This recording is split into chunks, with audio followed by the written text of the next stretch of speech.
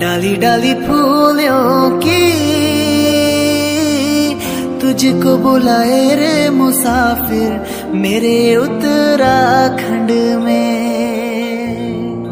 Hello दोस्तों, कैसे हो आप सब? प्रार्थना करता हूँ, भगवान से कि आप कुशल मंगल से होंगे। तो दोस्तों, फिर से आपके बीच में एक नई वीडियो के साथ में तो दोस्तों, आप बने रहिए दिखाते हैं।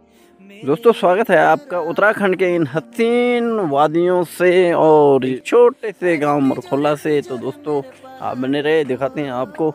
और दोस्तों, आजकल जैसे कि पतझड़ का मौसम है, आप देख सकते इस अखरोट के पेड़ में एक भी पत्ता नहीं है। और मार्च महीने के लगते धीरे धीरे इन इन पतझड़ वाले पेड़ों में धीरे धीरे पत्तियाँ आनी शुरू हो जाएगी और मौसम बहुत ही प्यारा हो जाएगा। डाली डाली फूलों की तुझको बुलाए रे मुसाफिर मेरे उत्तराखंड में। बादलों के ओढ़ के ओढ़नी वादियाँ गीत और दोस्तों आ चुका हूँ मैं जंगल में और यहाँ पे देखिए कितने बड़े बड़े चीड़ के पेड़ हैं। बहुत ही गजब के दिखाई दे रहे हैं चीड़ के पेड़। मेरे उत्तराखंड में मेरे उत्तराखंड में। दोस्तों चीड़ के पेड़ को एक पवित्र पेड़ भी माना जाता है और शादी ब्याह में जो मंडप बनता है, मंडप में भी ये चीड़ की पत्तियों को लगाया जाता है। तो ये काफ़ी पवित्र और पूजनीय पेड़ भी है। और दोस्तों, जैसे मैं जंगल में काफ़ी आगे बढ़ा तो यहाँ पे मिले मेरे जय बैल, जो कि हैं, मेरे गाँव के हैं, और इनमें, इनके साथ में मेरी गाय भी है।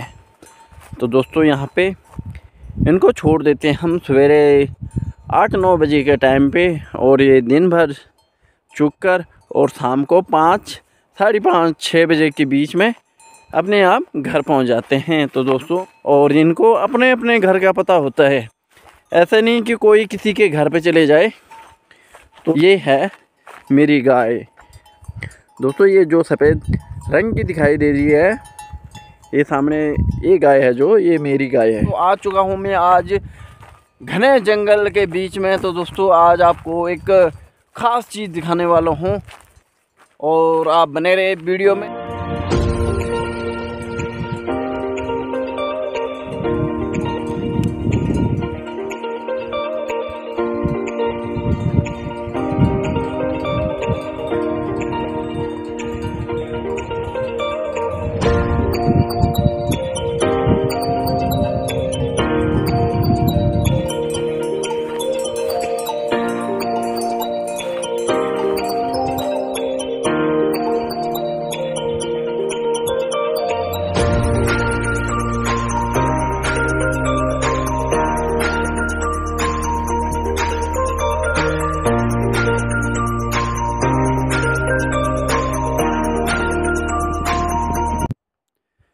दोस्तों ये जो नीचे है ना ये ये गोंद जैसा, इसको कहते हैं लीसा। और ये जो ये यहाँ लाल लाल है ना, ये ये वाला पार्ट, ये है छिल्ला। तो दोस्तों, अगर इसको माचिस लगाएँ तो ये बहुत ही जल्दी जल जाता है, क्योंकि इसमें काफ़ी लिक्विड होता है और इस कारण से ये आग को बहुत जल्दी पकड़ते हैं। तो ये बहुत ही ज़्यादा उपयोग होता है घरों में। जैसे कि चूल्हा जलाने के लिए तो बहुत ही ज़्यादा उपयोग किया जाता है इसको और बहुत ही सरलता से चूल्हे को जला सकते हैं, अगर हमारे पास छिल्ला होगा तो। और यहाँ पे हर पेड़ में लगभग लगभग छिल्ला निकला हुआ है। ये देखिए आप। दोस्तों, जैसे ये लीसा है, ये लिक्विड।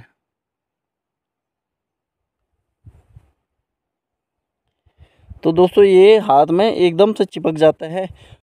दोस्तों जो ये होता है ना ये बगोट, इस बगोट के बहुत ज़्यादा फ़ायदे हैं। जैसे कि ये दोस्तों बगोट नहीं, ये सोना है। एक एक, अब आप कहोगे कि जगदीश भाई आप, इस बगोट को सोना कैसे कह सकते हो?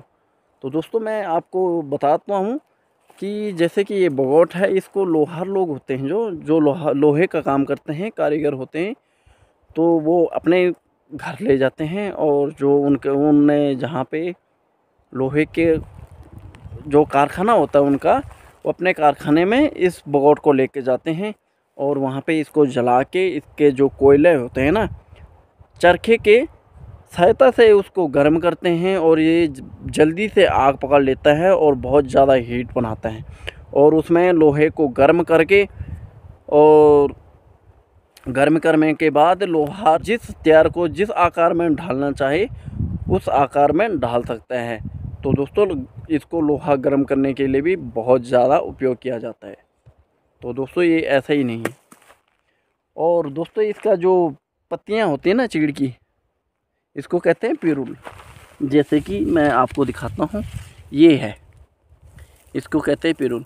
तो ये अभी लगभग साड़ भी चुका है आधा। लेकिन अभी भी ये बहुत ज़्यादा उपयोग किया जाता है और बहुत ज़्यादा काम आता है इसे। तो बताता हूँ कि दोस्तों, इसको आजकल जैसे कि हमारे गाय, भैंस, बैल, हमारे जानवर होते हैं ना जो, बकरियाँ, भेड़, जो भी होता है ना तो इसको गौशाले के नीचे बिछा देते हैं। वो ठंड से बचाने का भी काम करता है ये पिरुल तो दोस्तों, बहुत ही ज़्यादा फ़ायदेमंद है ये पेड़।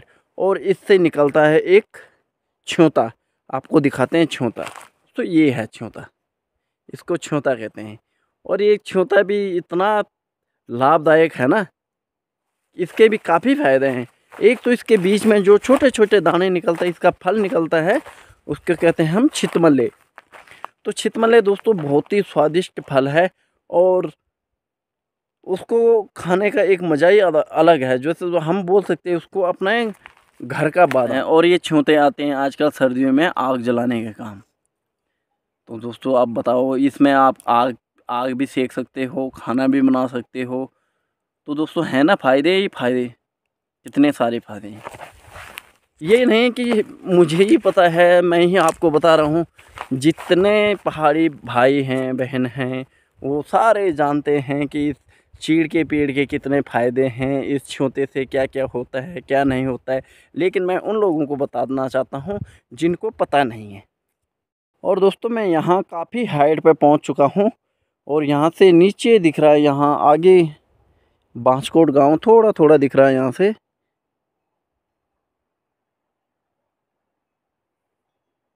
और यहाँ से नीचे, यहाँ पूरे चीड़ के ही पेड़ हैं। और छ्योते दोस्तों यहाँ छ्योते की तो कमी नहीं है बहुत सारे छ्योते हैं यहाँ। और ये देख सकते हैं आप किसी ने इकट्ठे करके रखे हैं देखो। इनको कहते हैं दोस्तों छ्योते और इनके बीच में जो फल होता है ना उसका तो बी, जो बीज होता है ना छ्योते के बीच में भाई साहब बात ही कुछ हो रहे है।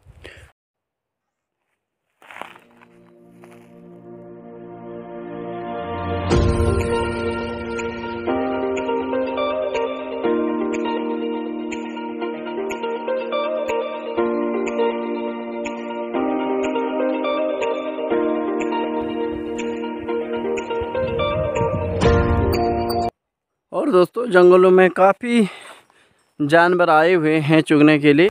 बहुत ही समझदार बैल हैं भाई। अपने आप आते हैं चुगने के लिए, अपने आप जाते हैं। किसी के ऊपर ये बैल बोझ नहीं है। लेकिन फिर भी लोग इनको पता नहीं, सड़कों पर छोड़ देते हैं ऐसे लावर इसकी तरह। यहाँ पे है बहुत ज़्यादा तुंग। और इसमें एक फल भी आता है आजकल। खट्टा मीठा होता है, बहुत ही स्वादिष्ट फल होते हैं और इस तुंग की दानतुन भी होती है। और देखिए, गहरी गहरी खाइयाँ, बहुत ही गजब की दिखाई देती हैं भाई, और खाई। और दोस्तों, आजकल पूरी घास सूख गई है।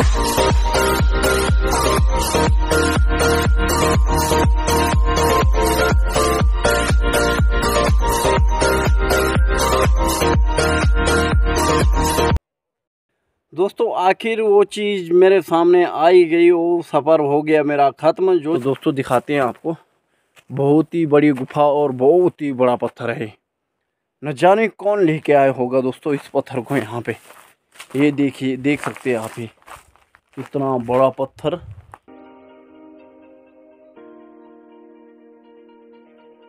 ये देखिए दोस्तों, कितना बड़ा गुफा है। और कितना बड़ा पत्थर। पूरा भी कैमरे में भी नहीं आ रहा दोस्तों। कौन लाया होगा दोस्तों इस पत्थर को यहाँ? ये देखते हैं। ये देखिए दोस्तों, सामने जाता हूँ। हे भगवान। दोस्तों, इसके नीचे जब बरसात होती है ना, इसके नीचे पानी नहीं जाता है। तो पहले जब हम गाय चुगाने आते थे जंगल में, और जब ज़्यादा बारिश होती थी और हमारे पास छाता नहीं होता था किसी दिन तो हम इसी गुफा के नीचे आ जाते थे। और ये देखिए कितनी बड़ी गुफा भाई साहब। और इन पत्थरों पर टिकी हुई है। ये देख सकते हैं आप। और यहाँ से दोस्तों देखिए अलग है। बिल्कुल अलग। ये पत्थर छूट रहा है यहाँ से। यहाँ से यहाँ से। यहाँ से ये पत्थर छूट रहा है। और ये देखिए दोस्तों। भाई साहब, बहुत गजब। अमेजिंग। तो दोस्तों तो दोस्तों इसी गुफा को दिखाने के लिए लेके आया था मैं आपको इतनी दूर, काफ़ी दूर से आया हूँ मैं यहाँ। और मैंने कहा कि अपने ऑडियंस को भी दिखाऊँगा मैं। यहाँ पे क्या क्या चीज़ें हैं। और दोस्तों मेरे घर से धूप जा चुकी है। और आगे के नज़ारे बिल्कुल गजब के दिखाई दे रहे हैं। और अभी ताराकुंड वाली साइड में पूरी पूरी धूप है।